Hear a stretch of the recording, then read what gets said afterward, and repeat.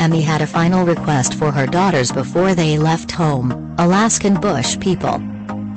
Alaskan Bush People cast member Ami Brown's lung cancer has reportedly escalated, and on the reality series, we are seeing the family leave their homestead so she can receive treatment. In a new clip from the show, Brown family daughters Snowbird and Rain are the last remaining two in Browntown, as they prepare to head to Southern California to reunite with Ami.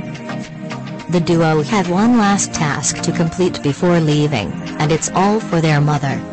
Ami wanted a ton of the Devil's Club plant for her to utilize and remind her of her Alaskan home while in California. Bird and I are getting Devil's Club for Mom because it was one of the last things she requested before we left, Rain said. So when she's going through all the treatments, she has something to do and a reminder of home. There are actually a lot of uses for Devil's Club, Snowbird said. You can make tea out of it, which mom does quite a bit.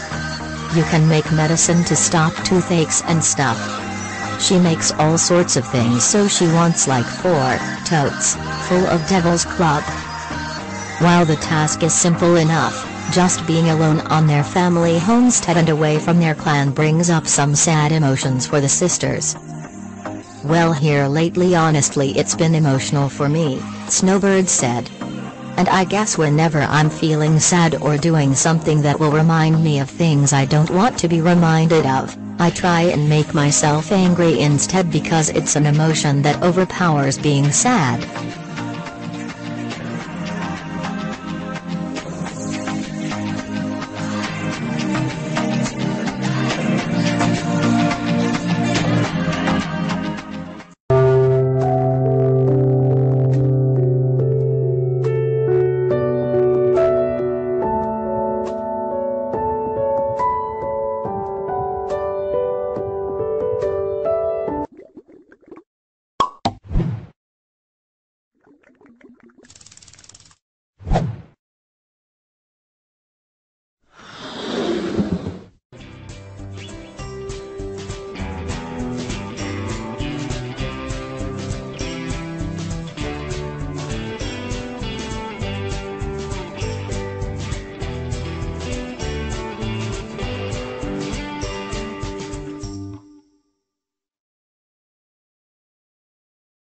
Ami had a final